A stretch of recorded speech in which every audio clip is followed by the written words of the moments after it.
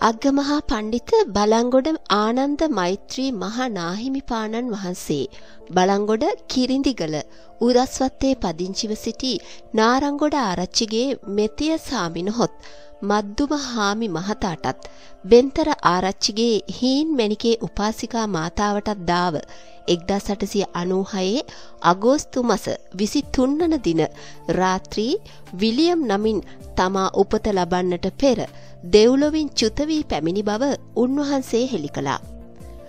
බලංගොඩ මහනාහිමියෝ ස්වකීය පෙරභවය පිළිබඳ ප්‍රකාශ කළේ බලංගොඩ උඩුමුල්ලේ ශ්‍රී නන්දාරාමයේ පැවති ධර්ම සාකච්ඡාවකදී. එක්දස් නමසය අනූ හතේ ජූලි මස හත්වෙනි දින. එනම් අපවත්වීමට වසරකට පෙර පැවෙති මෙම ධර්ම සාකච්ඡාවට මීතිරිගල නිස්සරණ වන ආරණ්‍ය සේනාධිකාරී උඩ ඊරියගම ධම්මජීව හිමි. විශේෂඥ වෛද්‍ය පරාක්‍රම දිසානායක. මහාචාර්ය මල්විල ගාමිණී දිසානායක මහත්වරු සදීපා පොත්හලේ අධිපති සරච්චන්ද්‍ර වන්‍යාරච්චි මහත්වරු සහ කොළඹ රාජකීය විද්‍යාලයේ ආචාරිනී ගුණසේකර මහත්මියද සහභාගී වී තිබුණා. මේ පිරිසෙන් කෙනෙකු කළ විමසීමකට පිළිතුරු දෙමින් මහා නාහිමියෝ තම පූර්ව ජන්මය පිළිබඳ විස්තර කළේ මෙන්න මේ ආකාරයට. වසවර්ති මාරයාය කියන්නේ කෙලෙස් වලටය කියා සමහරු කියනවා. ඒ මතය වැරදි. වසවර්ති මාර දිව්‍ය පුත්‍රයා පුද්ගලයෙක්. දෙවියන් අතර සිටින කාමයට අධිපති හිතුවක්කාර තක්කඩි දෙවියෙක්. එයාගේ පිරිවරත් ඒ වගේම අය. චණ්ඩි ගති ඇති අය. මිනිසුන් අතර වගේම තමයි. ඒ වගේ අය එන විට සාමකාමී යහපත් මිනිස්සු මගහැර යනවා. ඒ වගේම අනෙකුත් දෙවිවරුත් මේ වසවර්ති දිව්‍ය පුත්‍රයා හෝ ඔහුගේ පිරිස සමග ගැටෙන්නට කැමති නැහැ. වසවර්ති මාරයා සමත භාවනාව දියුණු කරන 이르දිබල වඩන අයට බොහෝම විරුද්ධයි. ඒ කටයුතු වලට බාධා පමුණුවනවා, කඩාකප්පල් කරනවා. මේ ලෝකය කාමයෙන් තණ්හාවෙන් පැතිර යනවාටයි ඔහු කැමති. විපස්සනා භාවනාවට ඔහුගෙන් බාධාවක් නැහැ.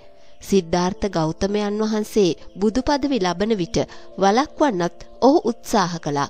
පසුව පැරද පලා ගියා. ලෝකය පුරා බුද්ධ ධර්මය පැතිරී යන විට එය වළක්වන්නටත් වසවර්ති මාර දිව්‍ය පුත්‍රයාට උවමනා වුණා. බුද්ධාගම කිලිටු කරන්න, හානි කරන්න ඔහුගේ පිරිසෙන් කණ්ඩායමක් මේ ලෝකෙට එව්වා. නිර්මල බුද්ධ ධර්මයේ පැතිර යාම වළක්වන්න බුද්ධාගමේ වේශයෙන්ම කටයුතු කරන පිරිසක් ඔවුන්. බුද්ධාගමේ ආකාරයෙන් මිත්‍යා අදහස් පැතිරවීමයි ඔවුන්ගේ පරමාර්ථය වුණේ. වසවර්ති මාර දිව්‍ය පුත්‍රයාගේ මේ වැරදි වැඩපිළිවෙල දෙව්ලොව සිටින මෛත්‍රී බෝසතාණන් වහන්සේ දැනගත්තා. මේ වැඩපිළිවෙල වළක්වා බුද්ධ ශාසනය ආරක්ෂා කර ගැනීමට මෛත්‍රී බෝධිසත්ව දෙවියන්ට උවමනා වුණා. උන්වහන්සේ දේව සභාව කැඳවා සාකච්ඡා කළා. ඒ සාකච්ඡාවට එන්න කියා මටත් දැනුම් දුන්නා. ඒ වන විට මම හිටියේ ඊතා ඈත අහසේ දිලිසෙන පුංචි තරුවක් වගේ දිව්‍ය ආත්මයක. මම ආවේ නෑ. දෙවෙනි වරටත් දැනුම් දුන්නා. මම ඒත් ආවේ නෑ. තුන්වෙනි වරටත් දැනුම් දුන්නාම මම ආවා. කැඳවීමට එක්වරම ආවේ නැති නිසා මම හිතුවක්කාරයි කියා මෛත්‍රී බෝධිසත්වයන් වහන්සේ මට තරවටු කළා. වසවර්ති මාරයා එක්තරා පිරිසක් මනුස්ස ලෝකෙට යවන්න තීරණය කර ඉන්නවා. බුද්ධාගමේ හැටියටම ඒ ස්වරූපයෙන් වෙනත් එකක් පතුරවන්න. අන්න ඒක මර්ධනය කරන්න අපත් කණ්ඩායමක් යවන්න ඕනෑ කියා ඒ දේව සභාවේදී තීන්දු කළා. දිව්‍ය ලෝකයේ සිටින බලවත් දේව කණ්ඩායමක් මනුස්ස ලෝකෙට යවන්න තීරණය වුණා. මේ කණ්ඩායම එක්ක මටත් එන්න කීවා. මම බැහැ කීවා. ඒ ඇයි කියා මෛත්‍රී බෝධිසත්වයන් වහන්සේ මගෙන් විමසුවා. මම ප්‍රබල නෑ මට වඩා බලවත් කෙනෙක් කියවන්න කියා මා කීවා. මොකක්ද නුඹේ ප්‍රාර්ථනය කියා එවර උන්වහන්සේ මගෙන් ඇහුවා. මට බුදු වෙන්න ඕනෑ කියා මා කීවා. ඇයි මම මනුස්ස ලෝකෙට ඇවිත් බුදු වුණාම නුඹට බැරිද මාර්ගඵල ලබා ගන්න කියා උන්වහන්සේ නැවතත් මගෙන් විමසුවා.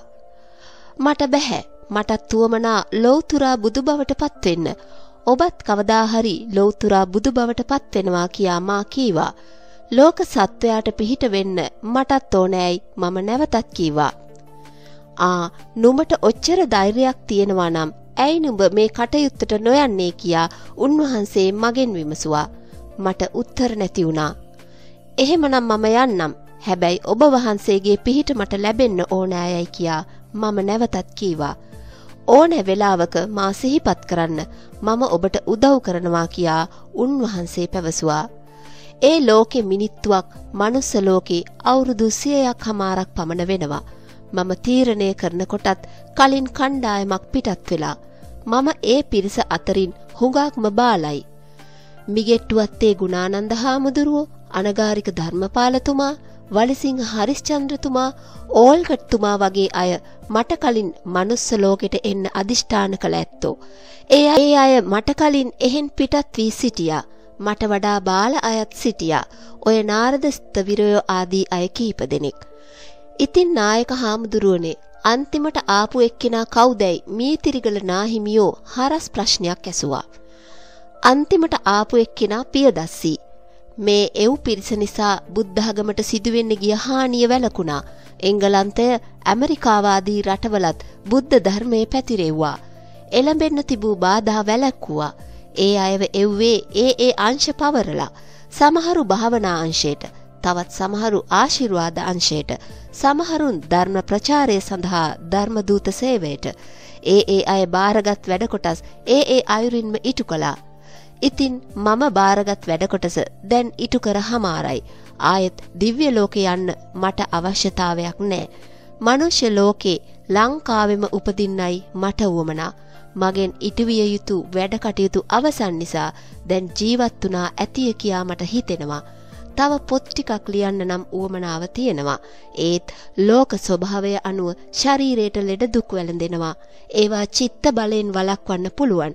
ඒකට භාවනා කරන්න ඕනේ. ඒ භාවනා ක්‍රම වැළකුණාම වයස්ගත නිසා ලෙඩ හැදෙනවා. භාවනාවට මාර පාක්ෂික බාධා පැමිණෙනවා. ඉන්දියාවේ හිමාලයේ ගෞරී බාබා නැමැති යෝගියෙක් ඉන්නවා. වයස අවුරුදු 2000කටත් වැඩි. සමත භාවනාවයි වඩන්නේ. ආහාරයට ගන්නේ කොළ හා පළතුරු පමණයි.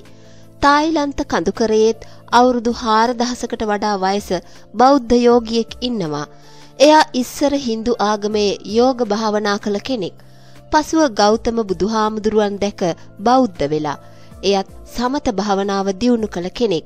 විස්තර පින්තූර සමග තායිලන්ත සංගරාවලත් පළවෙනවා. ඒ තත්වයට එන්න සමතය දියුණු කර සිතෙන් ශරීරය පාලනය කරන්න. ඉන්ද්‍රයන් ආණ්ඩු කරන්න තරමට චිත්ත බලය වර්ධනය කරන්න ඕනෑ. ජීවත්වීමේ ආශාව තියෙන අය එහෙම කරනවා.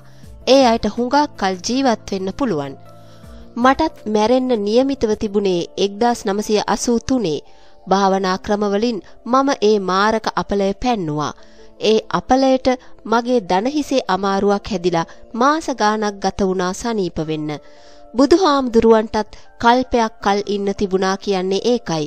කල්පයක් කල් වැඩ ඉන්න කියා ආනන්ද හාමුදුරුව ආරාධනා නොකළේ වසවර්ති මාරයා නිසා. ආනන්ද හාමුදුරුවන්ට එළඹ සිටි සිහියෙන් ඉන්න වසවර්ති මාරයා ඉඩ දුන්නේ නෑ. ආනන්ද හාමුදුරුවෝ එළඹ සිටි සිහියෙන් සිටියා නම් ඒක සිදුවන්නේ නෑ. මාරයා බාධා කළා. වේලාව මගහැරුණා. බුදුහාමුදුරුවොත් ඒ ගැන ක්‍රියා කළේ නෑ. බුද්ධත්වයට පත්වන වේලාවේ වසවර්ති මාරයා ආරාධනා කළ විට ශාසනය පිහිටවන තුරු යැයි කියා මාරයාගේ ආරාධනය ප්‍රතික්ෂේප කළානේ දැන් ඉතින් ශාසනය පිහිටුවා අවසන් නිසා බුදුහාමුදුරුවෝ පිරිනිවන් පෑවා. ඉතින් අපට මාරයා කරදර කරන එක පුදුමයක්ද මාරයාගේ ගෝලයොත් ඒ වගේමයි. මමත් පසුගිය කාලේ යෝග භාවනා දියුණු කළා පූර්වාත්ම හා පරසිත් දන්නා තත්ත්වයට ආවා. පිරිවෙන ගෝලයින්ට බාර දීලා භාවනාව තවදුරටත් දියුණු කරගන්න වෙනම කුටියකට වී භාවනා කරන්න පටන් ගත්තා. හරියටම වේලාවට පොළොන් තෙලිස්සෙක් ඇවිත් මගේ කකුල හැපා කෑවා. ඒ සතාව එතනට ගෙනත් දැම්මේ මාරදිව්‍ය පුත්‍රයෙක්. ඒ සතා කකුල කාපු අමාරුවට මම මාස තුනක් ඇඳේ දුක් වින්දා. මාස තුනක් එහෙම ඉන්නකොට භාවනාව මගහැරුණා. විපස්සනාව නම් එහෙම වෙන්නේ නෑ. මම සංකාර උපේක්ඛා ඥානය දක්වා සිත දියුණු කරලයි සිටියේ. ඊට එහා ගියා නම් සෝවාන් වෙනවා. මට එයින් එහාට යන්න බැරි වුණේ මගේ ප්‍රාර්ථනයක් අදිෂ්ඨානයක් තියෙන නිසයි. මාරයා විපස්සනාවට විරුද්ධ නෑ. සමතය වඩන විට තමයි කරදර කරන්නේ. මම පූර්වාත්ම දුටු හැකියාවෙන් පසුගිය භවයන්හි විස්තර බැලුවා. මම ගෞතම බුදුහාමුදුරුවන් දැක්කා. උන්වහන්සේ පිටදුන් ජයශ්‍රීමා බෝධීන් වහන්සේට අධිගෘහිත වෘක්ෂ දේවතාවක් වෙලයි මම හිටියේ. බුදුහාමුදුරුවන්ට ආවතේව කළා. ඊට අවුරුදු දෙසීයකට පසු අසන්දිමිත්‍රා ඒ බෝධිය කැපූ වෙලාවේ මමත් මැරුණා. මැරී අශෝක රජුගේ අග්‍රාමාත්‍යයාගේ පුත්‍රයා වී උපන්නා. ධර්මාශෝක අධිරාජ්‍යයාගේ ධර්ම දූත වැඩවලට සහයෝගය දෙමින් කටයුතු කළා. ඒ කාලෙ සිටම මම බුදු බව පතමිනුයි සිටියේ. යැයිද ආනන්ද මෛත්‍රිය මහනාහිමියෝ සිය අතීත ජන්ම කතාව අවසන් කළා. ඉතින් මේ වගේ වීඩියෝස් හැමදාම බලන්න අපව සබස්ක්‍රයිබ් කරලා බෙල් සලකුණ සක්්‍රී කරන්නත් අමතක කරන්න එපා. ඔබට සුබ දවසක්.